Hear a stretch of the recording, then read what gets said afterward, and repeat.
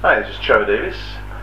My first school uh, was in Dolgellau, uh, which uh, I attended when I was four. Uh, must have been back in 1965. Um, I remember we used to walk down uh, with Mam to school, and afterwards we'd stop off at a shop, and she would get me a packet of crisps for 2D and a glass of pop which the woman in the shop would pour into a plastic cup for me to drink. It wasn't a case of having cans in those days, I don't think. Um, I remember the Christmas party, uh, and I also remember the couple of kids. Uh, one particularly was John Tollhouse. I don't know why that name sticks, but uh, it's, it's, not anybody I will have seen uh, since I left there, which we left in 1966 or 67 to go to Cardiff. Um, that's it. Thank you.